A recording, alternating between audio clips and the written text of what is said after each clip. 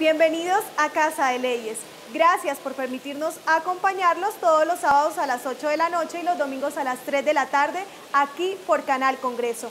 Hoy les llevaremos detalles de lo que fue la actividad legislativa durante esta semana en el Senado de la República.